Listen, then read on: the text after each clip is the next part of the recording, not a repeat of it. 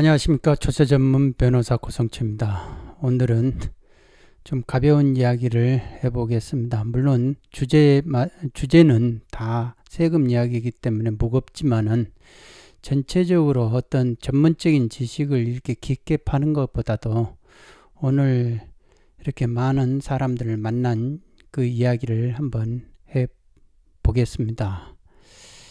일단 우리가 지금 어, 세금의 이슈가 이게 사해행위, 체납처분 면탈 그러니까 이 징수처분을 상당히 어, 강하게 하는가 하는다 그런 느낌이 들어요. 왜 체납처분 면탈이라는 거는 진짜 예전에는 그런 거 그 고발했다는 저 그런 소리를 잘 못 들었는데 요즘에 와서 자꾸 체납처분 멘탈죄로 어, 기소를 하는 경우 이런 경우를 자꾸 여러 번 보고 있습니다. 그런데 제가 자꾸 말씀드리지만은 제가 볼 때는 참 이 거학을 뭐를 이렇게 척결하고 뭐를 뭐 그런 저그 거라면은 뭐라도 이해가 되는데 다 이렇게 소시민으로서 사업자로서 그냥 열심히 살려고 하는 사람들 입장에서 그거를 이렇게 아, 왜 세금 안 내고 그 딴 데다 돈을 먼저 썼니? 왜 채무를 먼저 갚았니? 이런 거거든요. 그런데 세금을 먼저 내야 된다는 그런 법은 없어요. 우선해서 징수한다는 그 규정은 있어서 세금을 먼저 내고 내가 그 다음 생활비 써야 되고 빚도 갚아야 되고 그런 법은 없어요. 그런 부분에서 최근에 왜 이런 문제들이 자꾸 생길까 생각해 봤더니 뭐 어, 국회의원이 왜 어, 국세청 뭐 국정감사 할 때 그런 이야기를 제가 들었던 것 같아요. 왜 형사처벌을 안 하냐? 어? 세금을 체납하고 이런 사람들 왜 형사처벌 안 하냐? 그런 말에 에, 응답을 하기 위해서 실적을 내기 위해서 국세청이 지금 이렇게 체납처분 멘탈죄로 기소를 하고 그러면 검찰이 왜 그런 거를 보완해동을 하느냐라고 했을 때 아직 고발이 됐으니까 당연히 하는 거지라고 이렇게 되는 것 같아요. 그런데 대체로 체납처분 멘탈죄로 이렇게 기소됐다 이렇게 생각하면 저는 그 어, 검사들 이름을 아니야 이름이란다 나이를 먼저 물어봅니다. 나이가 어립니까? 그러면은 어, 30살이다. 뭐 아니면은 뭐 이렇게 30대 사람이다. 뭐 그런다 이거예요. 근데 이게 뭔가 깐깐하고 뭐를 이렇게 여유가 없이 공간이 없는 사람들 입장에서는 그러니까 엊그저께 공부하다가 막 나와가지고 왜 이렇게 돼서 시비 분별해 그냥 확 이렇게 하는 사람들 그리고 세금 공부를 하려고 하는 사람들 그런 사람들 입장에서는 이걸 가지고 따져보면 왜 이렇게 했냐고 그렇게 생각하는 왜 죄지었어요? 그러면 그 사람은 염라대왕 가가지고 그러면은 당신은 뭐 때문에 그렇게 죄짓고 왔니? 그러면은 뭐라고 말할 거예요 그러니까 사회가 전체적으로 여유 공간이 있어야 되는데 그거를 다 뭔가를 다 땜질을 다 해버리려고 하는 거예요. 땜질을. 그러면은 차라리 이렇게 큰 몇천억씩 하는 사람들 그거를 땜질을 하든지 차라리. 근데 이렇게 그 과부하가 전부 다 서민한테 내려온다 이겁니다. 저는 그 그게 상당히 형평성이 안 맞다. 앞으로 시대가 자꾸 형평성 형평성 말하는데 형평성 구하기가 상당히 어렵다 이거죠. 서민을 위한다고 하는 것이 오히려 서민을 옥죄고 목죄고 이렇게 힘들게 하는 그게 이 세금이다. 이거 위에다가 세금을 때리면 그게 밑으로 쫙 내려와 버리죠. 그러지 않습니까? 그런 부분들이 저는 느껴진다 라고 생각을 합니다. 그래서 이런 경우도 보면요. 이 그런 거를 잘 모르시더라고요 그러니까 저당권 은행에서 대출 받은 거하고 조세 채권하고 누가 더 먼저인가? 그 조세 채권 우선이라는 그 우선주의라는 법리를 잘 모르시더라고요. 그러니까 2018년에 고지했으면 그 고지 날짜를 가지고 저당권 등기라고 이렇게 비교를 하는 거예요. 그건 아니다.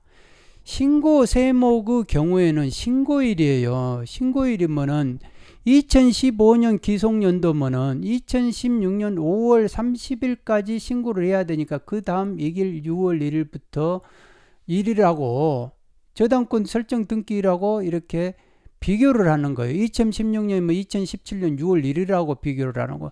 2017년이면 2018년 6월 1일하고 비교하고 2018년도면 2019년 6월 1일하고 비교한다 이겁니다. 예. 그러면은 이쪽에도 이렇게 제가 이렇게 보면은 외계가 은행이 2억 3천만 원을 2017년하고 2018년 사이에 이렇게 등기를 했다. 그러면은 이 2015년도, 2016년도, 2017년도 어, 세금은 조세가 이 저당권보다 먼저니까 먼저 한다 이거예요. 그리고 나머지는 은행이 2018년 이것보다는 더 먼저고 이런 식으로 계산을 해야 된다. 그래서 어. 가령 이 경우도 이런 식으로 이렇게 되면은 이 농협이 있고 뭐 저축은행이 다 2020년 2월 20일 날 설정 등기를 2019년 2월 1일 날 설정 등기했으면 이 위에 있는 조세 채권이 먼저고 그 다음에 이것보다는 3억 조세 채권이 먼저고 예. 그렇게 되는 거죠. 그런데 2019년 6월 1일보다는 농협이 먼저고 이런 식으로 이제 어, 조세 채권 우선을 비교를 하게 되는 거예요. 이게 이제 법정 기일입니다. 법정 기일하고 설정 등기일하고 비교를 하는 거예요. 누가 선순인지 그렇게 해서 조세채권 우선주의를 어, 우선 누가 조세채권이 우선한지 저당권이 먼저 우선한지 이런 거를 그런 식으로 이제 어, 비교한다 이겁니다. 그러니까 이런 거를 일반 체납자들이 거의 다 모르시는 것 같더라고요. 그런데 오셔가지고 하는 말이 아이 세무사 말 다르고 또 누구 말 다르고 다 달라가지고 자기가 낭패를 봤다 이거예요. 왜냐하면 계획을 세워야 되는데 그거를 자기는 전혀 틀리게 생각해가지고 이렇게 뭔가를 잘못 생각했다 이렇게 말씀을 하시더라고요. 그래서 혹 제가 틀릴지도 모르니까 한번 세무서 가서 다시 한번 증세과 그쪽에 상담을 한번 더 받아보시라고 말씀을 했는데 결국은 뭐 법리대로 하는 거니까요. 법리대로 하는 거니까. 그런 식의 이제 체납처분 멘탈 그리고 이게 법정기일하고 조세채권 우선 이런 거 그다음에 체납처분 멘탈도 자꾸 그런 식으로 하고 그런데 이제 이게 사회행위 체납처분 멘탈은 꼭 사회행위 취소하고 같이 붙어 있어요. 사회행위 취소를 걸어놓고 그 다음에 체납처분 멘탈까지 한다 이거예요. 그러니까 뭔가를 이렇게 보면 좀 괘씸하다 이렇게 괘씸하다 이거예요. 뭐를 쿡신을 치고 이렇게 했는데 근데 오늘 오신 분 같은 경우는 자기가 지금 이렇게 막 이렇게 하는 거는 자기는 전혀 몰랐다. 몰랐는데 사실 오늘 배우자인데 전혀 모르는 상황에서 내 이름을 도용한 줄 모르고 나중에 이제 그걸 알고 왜 그러느냐 이렇게 해서 뭐 항의를 해서 그 명의를 이제 주식을 양도를 했다 이거예요. 그런데 양도한 그 부분에 대해서 인정을 못 받는다. 그래서 2013년에 양도했는데 2015년에 이제 그 어, 부가세라든지 이런 법인세 2차 납세 납세 의무자로 과점주주다 이렇게 해가지고 어, 2차 납세 의무자 지정돼 가지고 그거에 대해서 어, 납세 의무가 생기니까 집 한 채 있는 거를 그거를 팔아 가지고 뭐를 이렇게 직원들 인건비 주고 뭐 이렇게 했다고 하는데 왜 그런 부분 그럼 그, 그 그렇게 되면은 주식이 양도됐으면은 납세 의무가 없는 거죠. 그런데 이거를 국세청이 알 모를 리가 없는데 왜 이렇게 했을까? 그런데 그 과정에서 무슨 사실관계 판단에 있어서 안 믿었겠죠. 뭔가가 아 이게 뭐 돈 간 거 있어요, 못 간 거 있어요, 뭐 이렇게 이렇게 따지면은 없다고 뭐를 안 믿었겠죠. 그런데 이런 부분들이 이렇게 되니까 대응을 못 하니까 축축축축 가버려 가지고 그냥 뭐 기소까지 돼버리고 최근에는 뭐 구속영장까지 친다 하고 막 그래요. 거짓말, 어, 저, 그 긍정을, 자백을 안 하면, 수긍을 안 하면 막 구속영장까지 쳐버리려고 하고. 그런데 그런 장칼을 왜 이렇게 큰 거학들한테나 행사하지, 왜 이렇게 어, 사업자들한테 다 이렇게 행사를 사업자들이 오시는 분마다 너무 힘들다고 그래요. 이 특히 코로나 사태가 돼가지고 더 힘들어졌다 이거 아예 그냥 일감이 없다고 그래요. 그러니까 세금을 좀 맞더라도 내가 그러면 분납이라도 해가지고 벌어가지고 일감을 그나마 그래도 좀 일감이 있으니까 그걸 가지고 해보려고 했는데 전년도에 이어진 그 일감에다가 일감만 있었지 새로운 일감이 없어버리니까 아무것도 없는 거예요. 이제 공장이 그냥 영이 되는 겁니다. 그러면 공장에서 일하는 사람들은 어떻게 됩니까? 다 뿔뿔이 흩어져야죠. 다 먹고 살 일이 없으니까 돈을 줄 수가 없으니까 그런 정도로 지금 너무 힘들다. 그러니까 세금 낼 돈이 어딨냐 이거예요 지금 세금 낼 돈이 없고 그런데다 거기다가 체납처분 멘탈이다고 뭐 했다고 막 일단은 막 그렇게 사람들 다 그렇게 하면 사업자들 그런 식으로 잡아버리면은 소는 누가 키우냐 이거예요. 제가 자꾸 말씀하지만 소 키우는 사람들이 있어야 뭐가 부가가치도 창출하고 그러는 거 아닙니까? 그러니까 국가는 있잖아요. 이런 부가가치를 부가가치를 더 창출해 줘야 되는 거. 이 칠판보다 더 큰 걸로 창출해 가지고 그래서 국가가 절 가지고 가라 이거예요. 근데 이게 창출이 이게 오히려 이 칠판보다 더 적어져 버린 거예요. 이제 시장이. 그러니까 국가는 더 먹을 것이 부, 국가도 부족하니까 막 쪼는 거 아닙니까? 지금 이런 식으로 납세자들을. 그래가지고 돈 세금 안 내? 어, 이상, 이 사람 봐라. 이렇게 해가지고 체납처분 멘탈죄로 전부 다 처벌해버려. 뭐 이런 식으로 나온다 하면은 이건 난리가 나는 거죠, 지금. 음. 그러니까 세금으로부터 어떤 불만을 쌓이게 되면요, 근저에 쌓이게 되면은 이 되돌리기가 참 힘들다. 폭발의 그 폭발의 힘이 상당히 클 것이다. 저는 그렇게 생각을 합니다. 그리고 이제 이제 사업하는 분들은 또 이렇게 힘들고 이제 그, 그 매출 누락이라든지 참여 계좌 이런 경우도 참명 계좌도 그게 꼭 사기 기타 부정한 행위라고 볼 수 있는 게 아니거든요. 참명 계좌 다 썼다 해가지고 배우자 계좌 썼다든지 가령 이제 고정적인 계좌 누구나 봐도 드러날 수 있는 그 계좌를 고정적으로 보고 이렇게 썼는데 그거를 그냥 범칙이라고 해가지고 고발까지 하고 매출 나락이다고 과세까지 해가지고 몇십억을 때려불고 그런데 남 지금 이 사람은 가진 게 없고 어? 그러다 보니까 이제 뭐 자포자기 하는 거죠. 예. 그러니까 될 대로 되라는 식으로 이제 뭐 재기가 어려운 거예요. 재기가 어려우니까 뭘 어떻게든지 뭐 살려고 살려고 하지만은 그게 마음같이 되겠습니까? 그래도 끝끝내 이렇게 사업자들의 힘이 참 대단해요. 끈질기고 그 질긴 것 같아요. 사업자는 아무나 사업자 하는 게 아닌 것 같아요. 그러니까 자기가 벌어서 부가가치 창출해 가지고 자기가 돈을 번다는 거는 진짜 대단한 일입니다. 아무나 하는 게 아니에요. 나무 돈 이렇게 자꾸 얻어 가지고 이렇게 하는 거 그런 거 그런 거하고는 틀리다. 사업자들이 확실히. 그런데 그런 사업자들이 항시 세무조사의 위험성을 가지고 있다. 세무조사 한 번씩 맞아 가지고 그게 한 5년간 틀려 버리면은 그러잖아요. 돈은 다 어디로 가버렸는데 그거를 지금 세금 내라고 하면은 환장을 요리시죠. 그러니까 집한채 있는 것도 다 이제 다 털려버린다 이거예요. 그리고 이제 대출 이렇게 대출 받아버리면은 이 은행 쪽 입장에서는 만일 이쪽에서 공매 들어오면 무조건 자기들도 경매 청구한다 이거예요. 경매 청구하면은 뭐 자기들이 먹을 돈이 없더라도 일단 경매를 청구한다. 예. 조금이라도 먹을 거 있으면 청구해야 되는 거고 자기들도 룰이 그렇게 매뉴얼이 그렇게 돼 있겠죠. 그러니까 납세자는 집에서 이제 집 한 채 있는 것도 쫓겨나 버리는 거예요. 그러면 어떻게 됩니까? 가정이 해산, 해체되는 거죠. 뿔뿔이 흩어지고 거기서 재기의 힘을 잃어버리면 노숙자 되는 것이죠. 그러니까 사업자들이 하는 말씀이 이게 뭐 세금 내려고 그동안 고생한 것 같다라는 생각이 드는 거예요. 누구나가 사업을 해가지고 돈을 번다고 그게 안 되는 겁니다. 그러니까 뭘 하다 밑 빠진 독에 물 붓기 식으로 사업이라는 게 무슨 사업만 하면 전부 다 돈을 벌겠습니까? 그러니까 뭐든지 기대를 가지고 열심히 일을 하는데 그 빼빠지게 일을 한 그 대가가 결국은 과세 처분으로 오고 이거에 대해서 허망하죠. 그렇게 되면. 예. 그러니까 이런 부분을 좀 헤아려야 된다. 그 형사처벌을 하자고 이렇게 주장했던 그 사람이 과연 사업을 해봤을까? 그 사람이 세금을 얼마나 내봤을까? 저는 그런 생각을 한번 해봅니다. 음. 그리고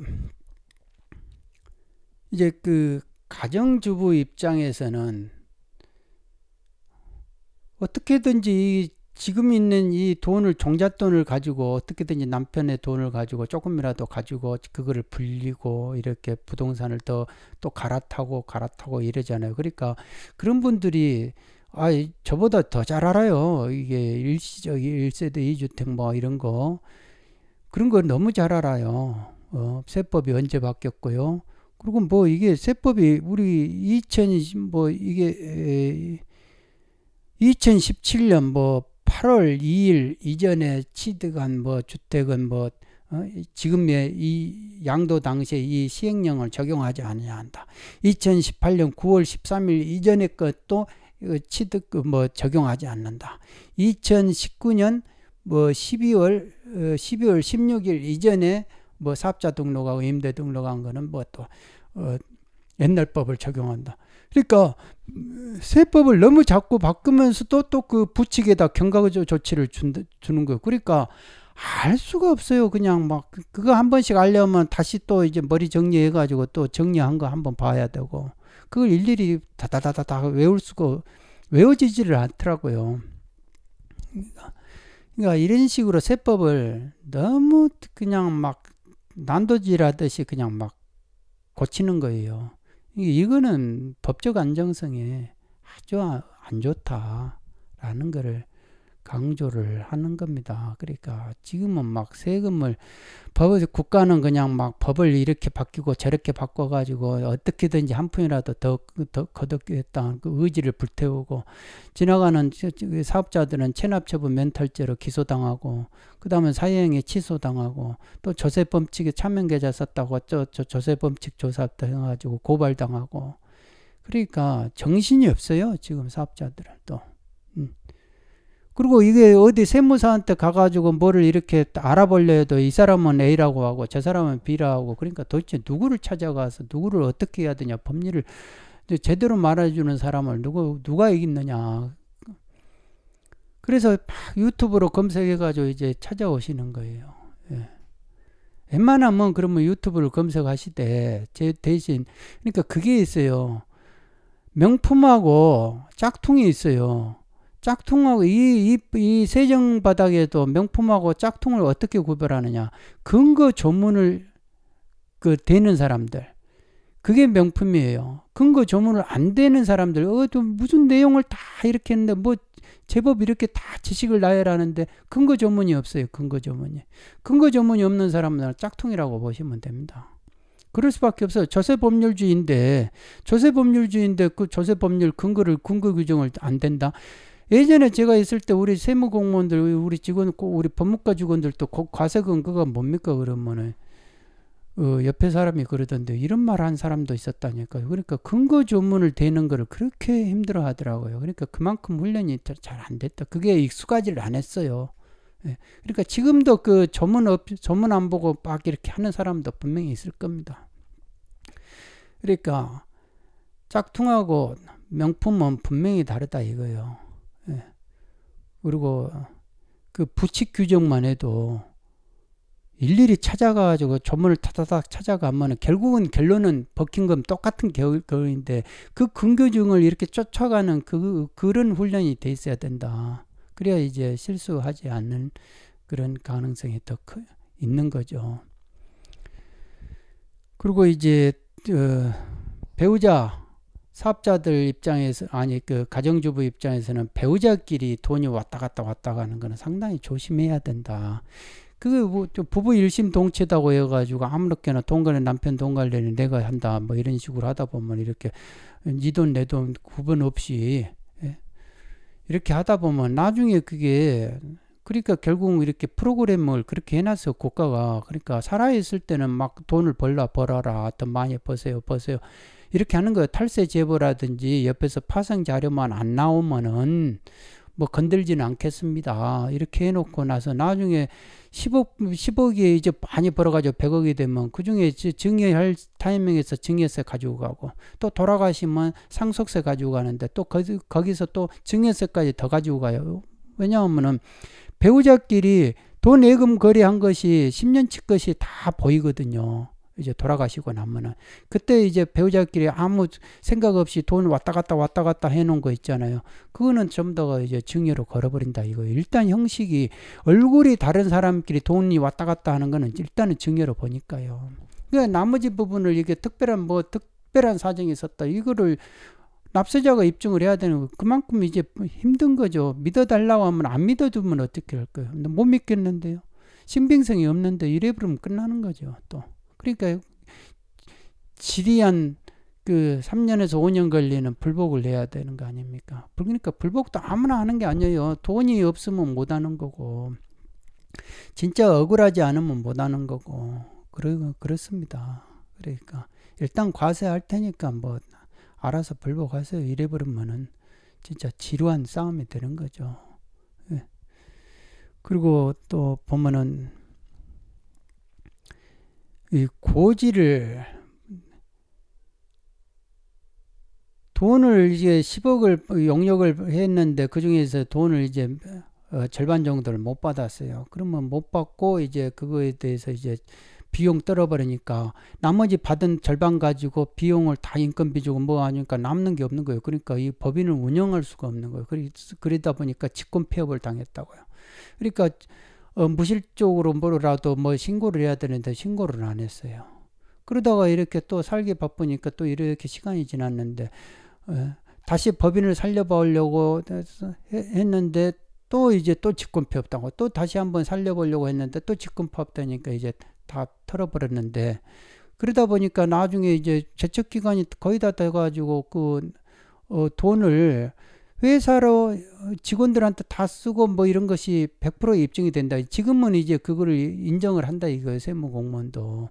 그런데 그 전에는 아 이게 법인세 실적 그 신고를 안 해가지고 이렇게 보면 그러면 그거는 다 가지고 간 걸로 봐라 이렇게 돼가지고 소득 처분해가지고 소득금액 변동 통지를 했는데 소득금액 변동 통지를 받은 기억도 없고 법인세 고지서 받은 기억도 없고 어 그렇다 이거예요. 종합소득세 받은 그 기억도 없는데 그래서 그 송달 내역을 다시 한번 다 찾아보십시오라고 해서 가보니까 송달 내역을 이렇게 가져왔더라고요. 그러니까 소득금액 변동 통지서는 어디로 갔는지는 모르겠는데 결국은 이제 법인세 고지서하고 재척 기간이 거의 앞 한 달 정도 앞두고 이제 뭐 이렇게 교부 송달 받은 게 있더라고요.